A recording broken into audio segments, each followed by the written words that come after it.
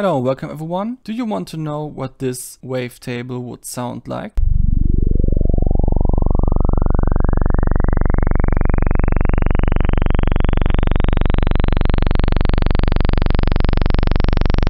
This video is geared toward musicians who always wanted to get into programming but find it a little bit hard to digest at the beginning. And yeah, this is just a, meant as a fun little project that you can make. You want to make your own wavetables with math. And you know there is the Serum formula parser, but either you might not have Serum or you just want to have even more power than the formula parser and the wavetable editor in Serum. Or you just want to have lots of fun with alternative ways to do anything. So stick around you have to go on my GitHub page and then search for Wavetable Creator Console and download all this stuff.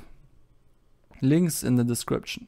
Then you have to download all the stuff from the JUCE framework. They also have their own GitHub page where you can just download the code. And then you need an IDE like Visual Studio for Windows, which also has a free version. So up until now and also everything else is going to be free. Now I'm well aware that some of this might be already a little bit daunting, installing a whole framework and a whole IDE for programming and stuff. That's not always as easy as it should be. But gladly there are some videos by the YouTuber, the audio programmer, who are geared towards beginners of the JUCE framework and some of these videos are very helpful at figuring out the basics of installing all this kind of stuff. And if there are still some questions left, then put them in the comments or come to the Discord group of the audio programmer because there are a lot of people who like to help with beginner questions like that. Now suppose you already did all this stuff. Go into the folder that you downloaded from me, the Wavetable Creator Console and open its Projucer file. The Projucer is basically some sort of project management program. So all you have to do is start up your IDE by clicking on this button. I already did that, so I'm basically here. You can really see what's going on in this piece of code, which is just one file with less than 200 lines. And all you have to care about is everything that starts at this function called main. So basically,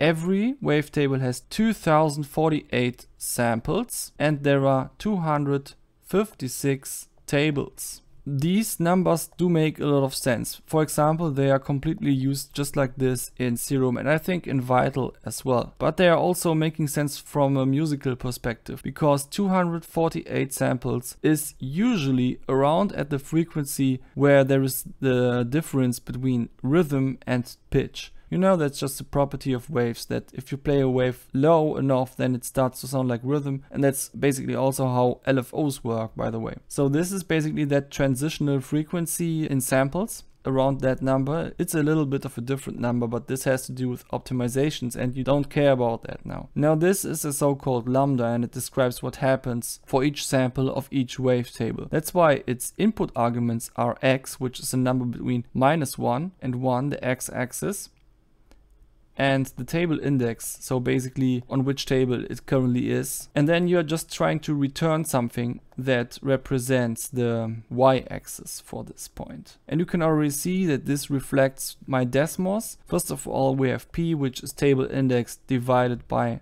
num tables. And this creates us a number between 0 and 1, just like this p parameter here. Then we are rounding it to 32 times p and call that a, which is the second line here. Round is rint in C++. Now we have a lambda in a lambda, and this new lambda is called big S, just like here and has three arguments x, n and m and you can see that reflected here as well. And then it just contains a sum and the sum in math is written like this. We're starting at n1 going to big N and we're doing this for each thing and that's added to the sum at the end we're divided through m. In C++ you're doing it like this, you're calling a variable sum starting at 0, then you have your conditions here like starting at 1 and going to n 1 and n. And then on each iteration of this loop, we are adding to the sum whatever is in the sum, which is this function. And at the end, we divide by m in this particular function. And then I just have this function call here with x, a and 1 and it creates our analog sum. Then there is the creator object which just takes the table size, num tables and the function that was defined up here and creates a wavetable from that. Then you can optionally remove DC offset and normalize the table. But you can also comment them out like this if you need to or want to. Then you just have to give it a name in this little space and hit the compile button and it will compile.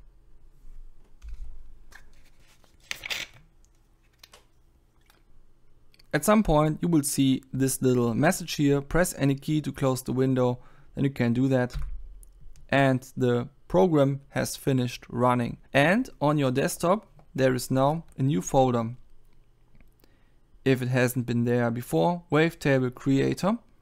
And there, there is the file that you have made.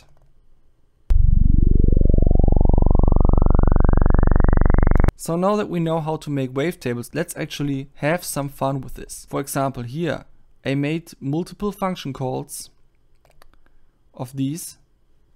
And as you can see, they look very mesmerizing together. So the obvious uh, thing to do is to just add them all together. And it looks like this.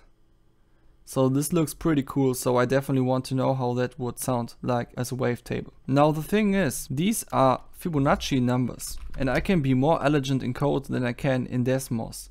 So basically, these are Fibonacci numbers, so I will make an array now, and it's of type float, and it has 7 elements in it, and I will call this the Fibonacci array. And then GitHub Copilot will hopefully just fill it for me, yeah. I have to explain myself here for the noobs. GitHub Copilot is a recent innovation where an AI constantly reads what you are programming and then it um, suggests some things that should happen. There is one thing that I don't like here specifically now, which is that it has the one twice. I know that's part of the Fibonacci numbers, but I'm I'm not really into it. So let's instead just take one more so we have a little bit more space. Now we can make another sum here. And you already guess what's going to happen, I think. Sometimes the suggestions from GitHub Copilot are not that nice. And they can be a little bit distracting at times too. Let's say what it suggests me here. Getting the Fibonacci sequence of n, so basically iterating through the entire thing, but we don't want to start with the first thing, but just with the second one and then using that in the formula. Is it is it what I did here? No. See, and that's where GitHub Copilot can get confused. This still needs to be A, but this needs to be F. And then we can return the sum instead. And this should now create something like this, but instead of only going from 1 to 5, we are going from 1 to 21, because that's the length of the array. Analog saw fib21. Okay, let's just try.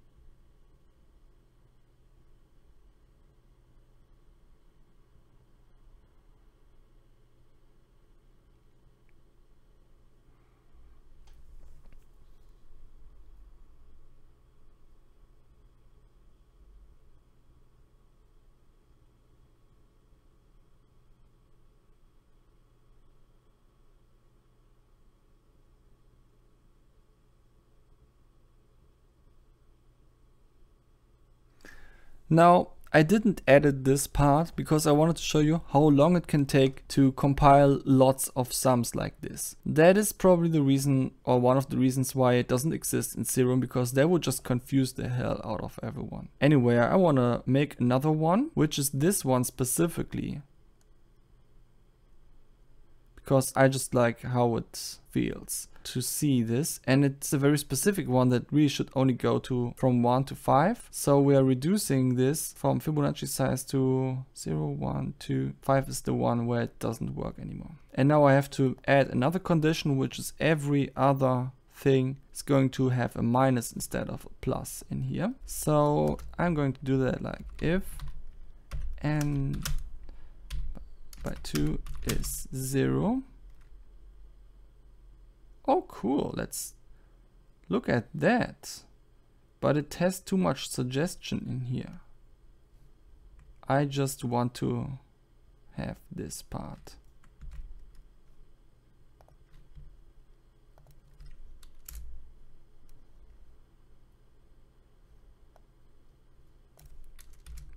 Great, that's basically it. If it's divisible by zero, then plus, else minus. I hope it's this way around and not the other way around. But anyway, now this should be the, the plus minus one. These names become quite ugly at this point, but let's, let's just run this now.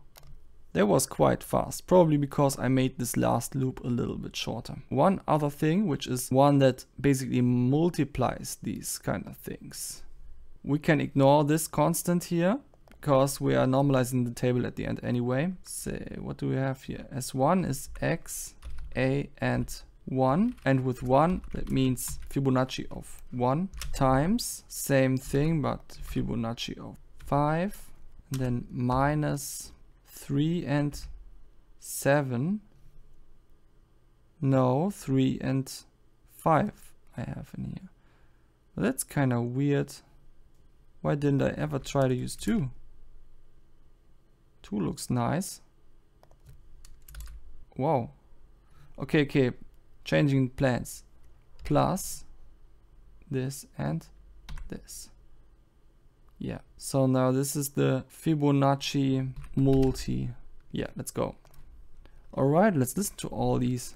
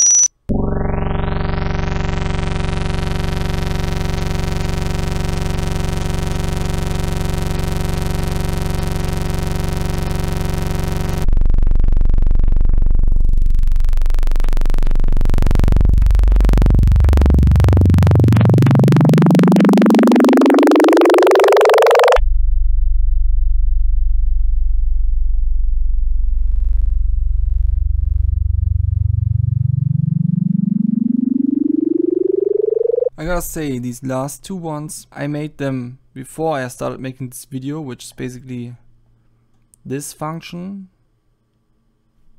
and this one.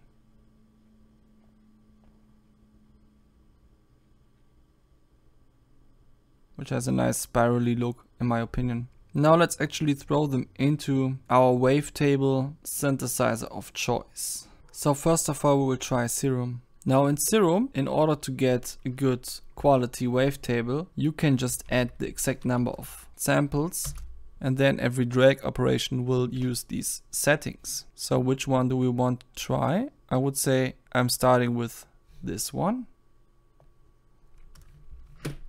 Now the first two tables seem to contain nothing. So we can just reduce it a little bit. And now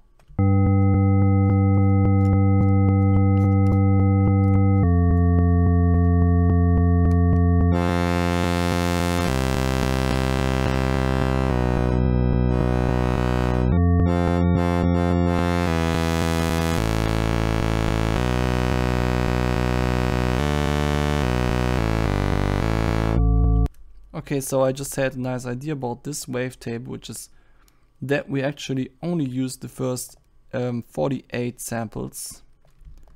And everything else will be removed. Remove um, just the ones that are selected maybe. Current index. Huh? What? Okay, I don't know. It's kind of... Okay, that did what I wanted to do, right?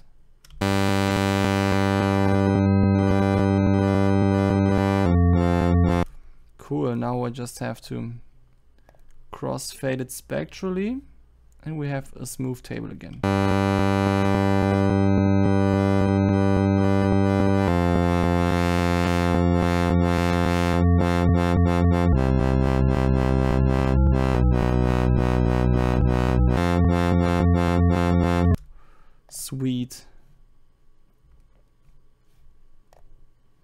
Try another one.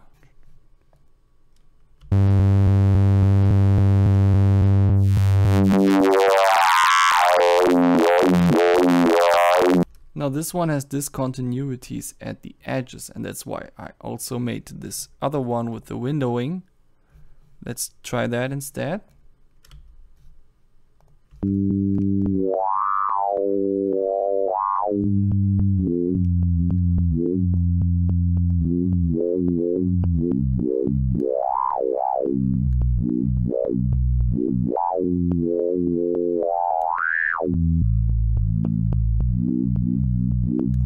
I really like that. It has sort of a vocal quality to it, in my opinion.